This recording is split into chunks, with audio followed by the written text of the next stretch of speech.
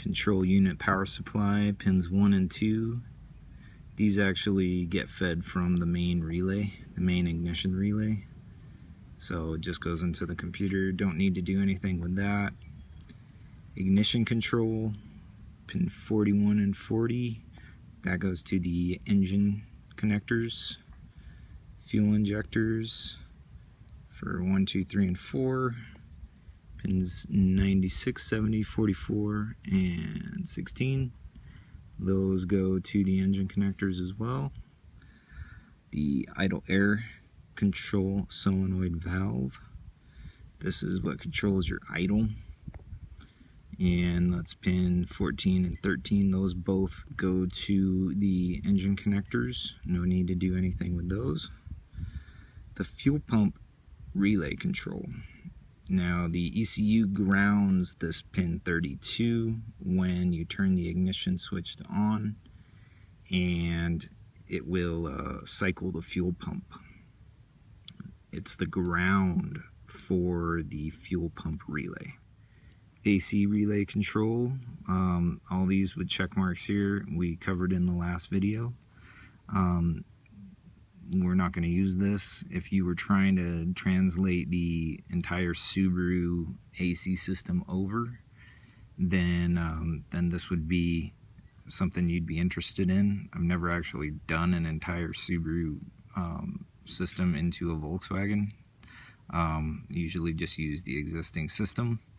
But what this guy does is when the ECU gets the signal from the AC switch, when it receives power from the AC switch, it then cycles this guy and, and sends a signal to this relay control. And radiator fan relay 1 control, this also sends a ground to the radiator fan uh, relay. And what this does is that'll then trigger the radiator fans to kick on. I usually use them in the buses, but not in the Vanagons.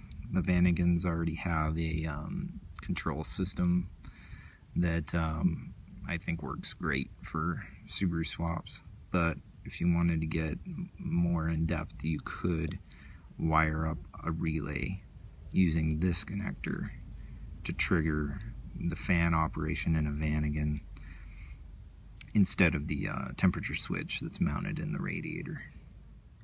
Radiator fan relay 2 control, I don't use it. Um, I just use radiator fan relay 1 control. And I just turn, you know, for the buses, I just use the fan 1 control and um, just turn the fans on high right away. But theoretically, you could do fan 1 control controlling low speed and fan 2 control controlling high speed of the Subaru fans. But that's not generally the way I do it. I like to just kick the fans on high gear as soon as possible. Self shut off control, pin 63. Um, this just goes to the main ignition relay. Malfunction indicator lamp, this is the check engine light.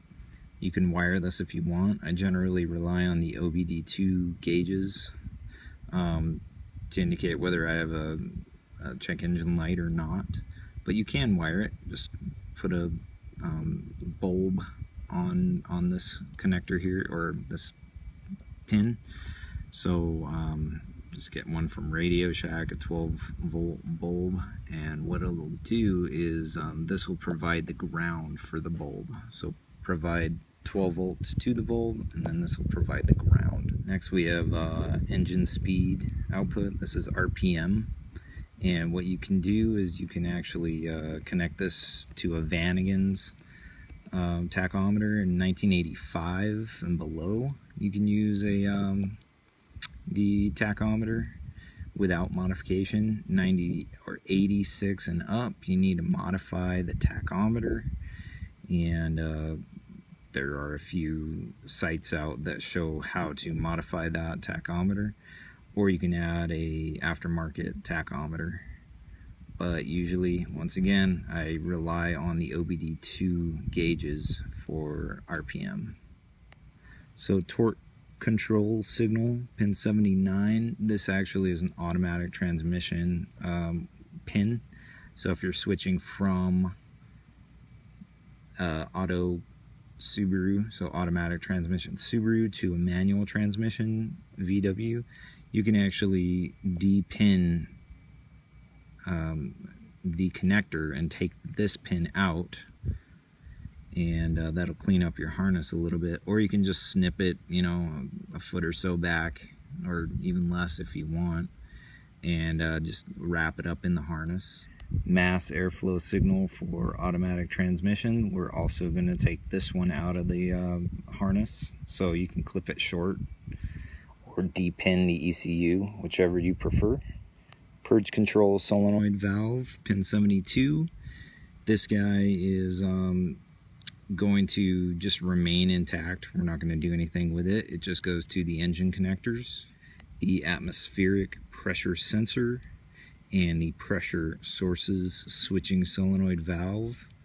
These two, pins 26 and 15, those go into the engine bay, or you could keep them in the uh, near the ECU if you wish. I'll show you what those look like. So here are the uh, pressure valves. So the um, atmospheric pressure sensor and the uh, pressure sources switching solenoid valve out by the mass airflow. And you can route these back through the harness and put them with the ECU side. You'd need to run a vacuum connection up to the engine or you can just leave them where they are, which is what I do, and mount them to the um, in the engine bay somewhere. The EGR solenoid valve, pin 71, that just uh, remains unchanged. Don't do anything with that. Goes to the engine connectors. The front oxygen sensor heater signal, that also goes to near the engine connectors. Don't need to do anything with that. On the final page here, we have the rear oxygen sensor heater signal, pin 37 don't need to do anything with that. We'll just leave that. Fuel temperature sensor. That one um, you don't need to do anything with. There's no way to connect that up. Anyway so I'll just leave it clipped. And uh, in this particular harness it doesn't even have it. The uh, fuel level sensor this also is not in the uh, the harness that I have. And that's pin 27 but if you do just leave them um, either clipped or you know another thing you can do is just depin the harness to remove some of these things that are, aren't um, needed for a VW swap. The fuel tank pressure sensor, this is another one of those where we're not using it in the VW swap. So you can uh, depin the ECU or just leave them clipped. Same thing with the fuel tank pressure control solenoid valve. Just leave it. No need to uh, mess with it. The vent control solenoid valve, another one of those. Leave it. Drain valve, same thing. AT diagnosis input signal. This is the automatic transmission. Diagnosis input signal. Just leave it um, or depin the ECU. And then you have all the grounds for various things like the sensors. This is a very sensitive ground, don't touch it. The injectors is like a high powered kind of ground. You don't need to touch that either. The ignition system, same thing. Same thing with the power supply. Control systems, oxygen sensor heater, it's all kind of the same thing. Just leave these. Do not add any extra grounds to these because they could potentially cause uh, ground loops. Okay, and then one thing that I noticed on one of the pinout sheets that I have that this one does not have is the TCS signal. It's pin 61.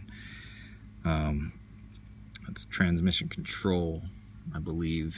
TCS and um, this pin is not needed so just you know also cut it or leave it but if you have a pin on pin 61 that's what it is TCS signal so just disconnect that or depin the ECU or just leave it the way it is so that wraps it up for the um, ECU pinout uh, video. Uh, I'm assuming there are going to be some questions, so uh, we'll leave it open to the comments and uh, let me know if you have any questions on any particular pins. Um, I may have misread a couple pins, but um, you know, my eyesight's getting kind of bad looking at these things all day. but um, let me know if you have any questions and, um, and I'll try and get to them as quickly as I can. The next video we'll do is um, kind of forming the harness and that'll be, um, you know, where to connect what essentially and, and kind of making the harness take shape for how it'll go into a Vanagon or a uh, bus. So I'll see you then.